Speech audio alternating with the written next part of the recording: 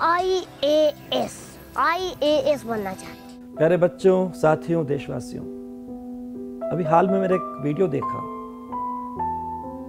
जिसमें छोटा सा 11 साल का सोनू बिहार के मुख्यमंत्री नीतीश कुमार जी से पढ़ाई की जिद की गुहार कर रहा है। कह रहा मुझे कलेक्टर बनना है?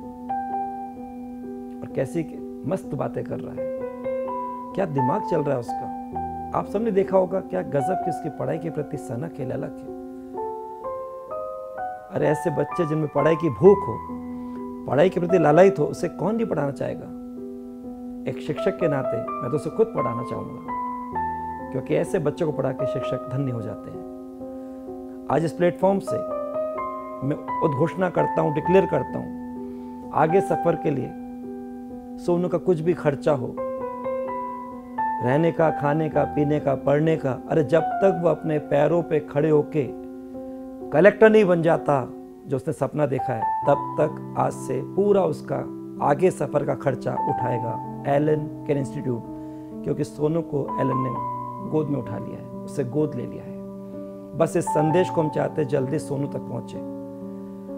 दिल में बात चल रही थी, ध्यान आया, सबसे अच्छा फास्ट ज़रिया आजकल है।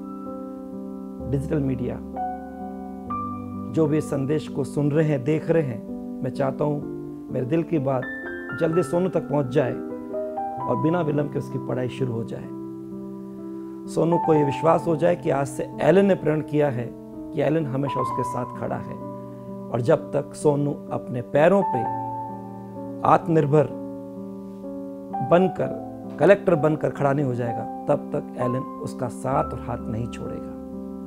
क्योंकि ऐसे बच्चे अजब होते हैं और ये गजब कहने लिखते हैं। सोनू भी हमारे देश में एक ऐसी तस्वीर साबित होगा।